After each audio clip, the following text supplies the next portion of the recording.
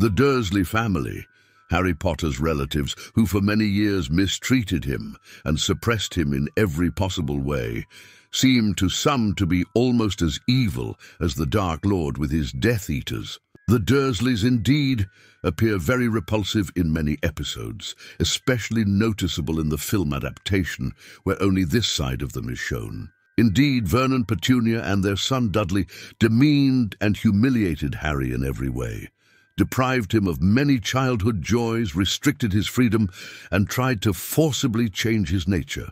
Therefore, the aversion they provoke in most viewers and readers is quite understandable. However, it's also possible to see the Dursleys from another perspective. In the books and the adaptation, there are several subtle facts that, if not fully justifying this family of muggles, help to understand their motives and to notice that even they are capable of changing for the better and eliciting sympathy.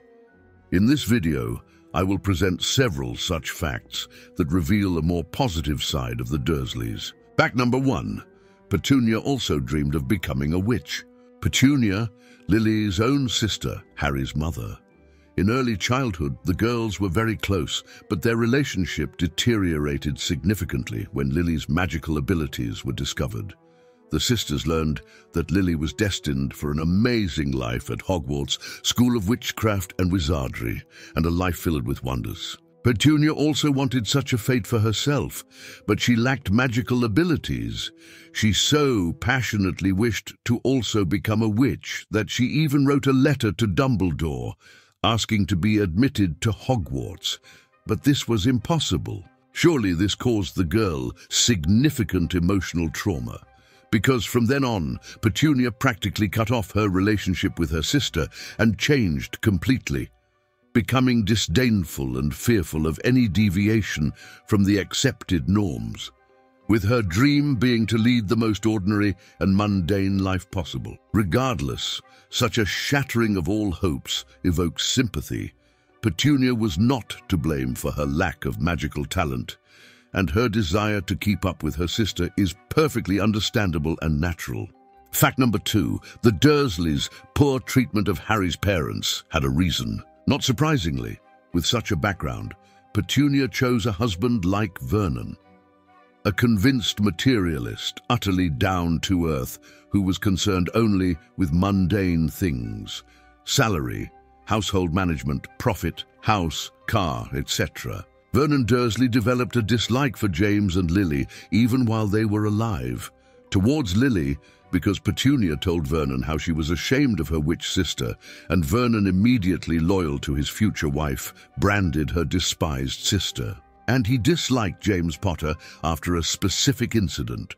Vernon and Petunia were engaged. James was dating Lily, and the two couples decided to have dinner together. James immediately amused Vernon with his seriousness and businesslike demeanor appearance. James began to tease him. When Vernon asked about his car, James described his broom, and when the conversation turned to income, he boasted that he had gold bars in the bank.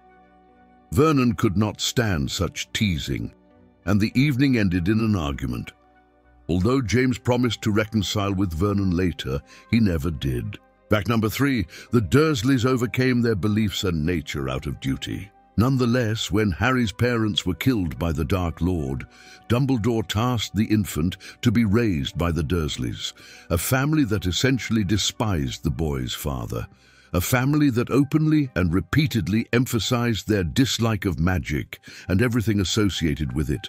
For years, Petunia and Vernon tried to build their life so that it was as normal as possible. A normal job, a normal house, a normal son Dudley, normal interests and leisure. For them, this was genuinely important. And then, without asking them, fate in the form of Dumbledore threatens to destroy this entire world of normalcy by throwing them the most abnormal infant. The embodiment of the magical world the Dursleys could not stand. And yet the Muggles agreed to this because the sense of duty was not foreign to them and they understood that otherwise Harry would be in danger. Speaking of the threats facing the infant, fact number four, the Dursleys voluntarily risked themselves to protect Harry. Along with the infant, Dumbledore sent the Dursleys a detailed letter, explaining in detail what exactly happened to James and Lily, who killed them, and why. This means Petunia and Vernon were aware that the greatest dark wizard of their time, who would stop at nothing and had dozens of cruel followers, was hunting their nephew. The Dursleys also learned that only living with them could protect Harry, as this was how Lily's protective spell worked. In a place that the boy could call his home, he would be protected from all threats. Yes, Voldemort was considered dead by that time. However, many Death Eaters remained at large, posing a real threat. Moreover, the Dursleys knew little about the magical world and the powers of wizards, and were surely afraid of, among other things, the Dark Lord's return. Nevertheless, knowing all the dangers, they agreed to take the boy in and expose not only themselves, but also their own son to these dangers. Yes, they did not hide their dislike for Harry, but they did not kick him out or send him to an orphanage. They raised him as best they could. Fact number five, Dudley mended his relationship with Harry over the years. Dudley was Petunia and Vernon's only and beloved son, whom they constantly spoiled. The boy took after his parents in his selfish attitude towards the world, as well as in his contempt and bullying of Harry, whom he tormented from early childhood into adolescence. He grew up quite a nasty and spoiled boy, formed a gang with similar guys, and together they bullied the weak. However, after one incident, Dudley changed significantly. Specifically, after an encounter with a Dementor, which nearly killed him. During this encounter, Dudley as if saw himself from the outside and saw all the nastiness of his behavior and attitude towards others. After that, he began to change. At the height of the confrontation with Voldemort, when the Dursleys were evacuated to a safe place, he acknowledged that Harry had saved his life and wished his cousin luck. Subsequently, when Dudley grew up, he started a family and maintained a connection with Harry, Yes, they did not become best friends, but they maintained quite warm relations. Moreover, Rowling said that she initially even thought of making Dudley's child a wizard, which would have brought him even closer to Harry.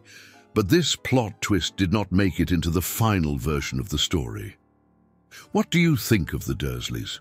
Do you consider them purely negative characters? Loved unraveling the mysteries of Hogwarts with us? Subscribe for more magical insights into Harry Potter's universe. Join our community of wizards and witches in exploring every spell and storyline.